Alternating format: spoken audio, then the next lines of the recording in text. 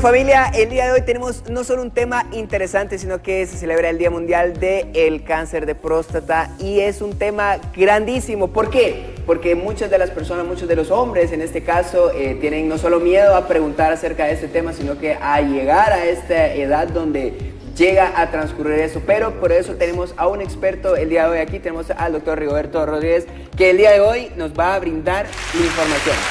Cuéntanos, ¿cómo está el día de hoy? Todo bien, mucho gusto, muchas gracias por invitarme el día de hoy en un día tan importante, ¿verdad? Que es el Día Mundial del Cáncer de Próstata, hoy 11 Es interesante por las, las inquietudes que no solo uno de hombre tiene, sino que muchas personas a veces que están en casa y por miedo a preguntar a otra o, preguntar a un doctor no lo hacen. Eh, queremos despejar unas dudas el día de hoy. Y bueno, no sé si empezamos con, con lo primero, cuáles tal vez son eh, los síntomas que una persona eh, puede llegar a tener eh, ya teniendo, digamos, eh, dicha enfermedad y cómo podemos detectarla. Ok, sí, claro, muy importante, ¿verdad?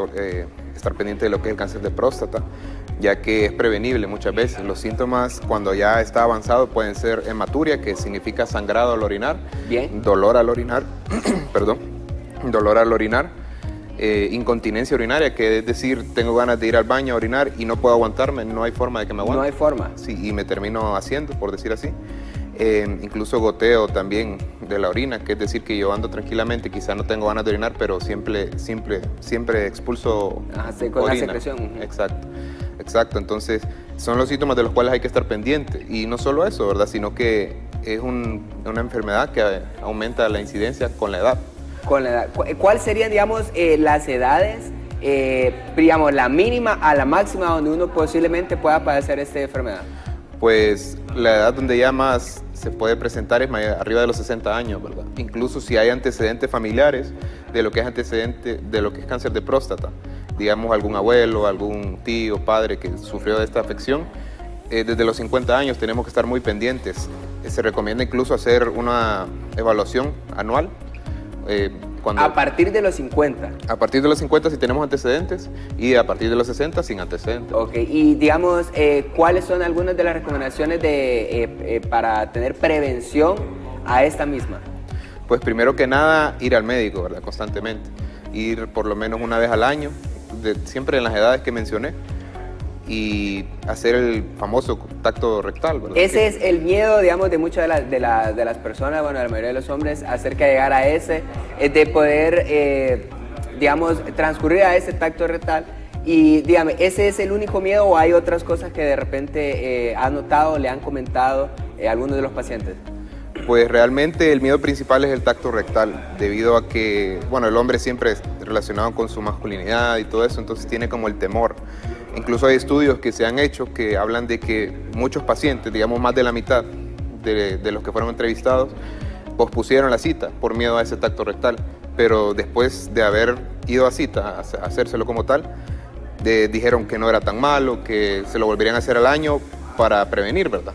Pero hay mucha gente que realmente dice, mejor me aguanto, mejor eh, se me va a quitar solo esto, y realmente no, pues es algo que, que debe que debe cuidarse. Y bueno, y la mayoría de las personas, si lo digo de esta manera, eh, muchas de las personas eh, sufren de esa enfermedad y no se tratan incluso por lo mismo, por ese mismo temor. Entonces a veces tu vida o tal vez un momento de incomodidad puede llegar a ser, pero es más importante llegar a saber eh, qué es lo que estás preveniendo, qué es lo que te está salvando. Y al final, solo como dicen, es una vez al año el que tiene que realmente realizarlo para poder hacerlo previo. Sí, también está lo que es el antígeno prostático específico, que es una, prueba en sangre. ¿Una prueba en sangre? Sí, que se debe realizar también junto con el tacto rectal, ¿verdad? Año con año, dependiendo de, la edad. Y eh, bueno, valorarlo con el médico. Eso, la verdad es que no es algo tan complicado porque simplemente es una prueba en sangre pero eh, siempre deben ir de la, de la, mano los dos. Perfecto. Y bueno, me gustaría saber no solo eso, sino que, bueno, si unas personas eh, en casa, si nos están viendo, si ustedes tienen ah, algunas preguntas hacia el doctor referente a eso, lo pueden realizar, pueden mandarnos mensajes, los números que están apareciendo en pantalla. Pero eh, sobre todo, ¿cómo pueden hacer una cita con usted, digamos, doctor, para que puedan empezar a, a ya tratarse?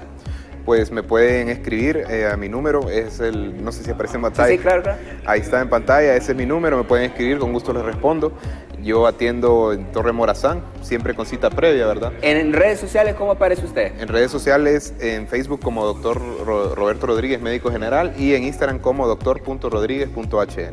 Díganos un gran consejo hacia las personas, hacia el pueblo en general, para que tomen conciencia y que puedan realizarse este examen.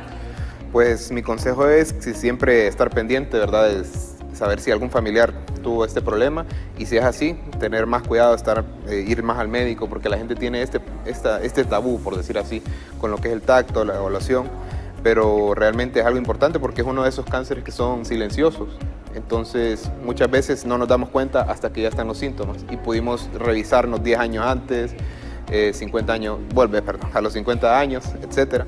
Entonces sí es importante, ¿verdad? Estar pendiente, estar bien. Si, si, si, tuviera un familiar, tiene que hacerse a los 50 años el examen. Un familiar que tuvo este, este cáncer de próstata tiene que revisarse a los 50, si no, hasta los 60 años. Sí, recomendable. Eh, no a los 40. Yo, bueno, un tabú que había escuchado que a los 40 años uno ya podía empezar a hacerlo, pero... Ya puede empezar a hacerlo, eh, más por salud, por control, por decir así, como hacerse un examen de sangre periódicamente pero si tenemos el factor de riesgo o síntomas, ya tenemos que empezar lo antes posible. Perfecto. Y, como es un cáncer que aumenta con la edad, a mayor edad, mayor riesgo. Riesgo, así es. Y muchas veces eh, lo que es necesaria una cirugía incluso, ¿verdad?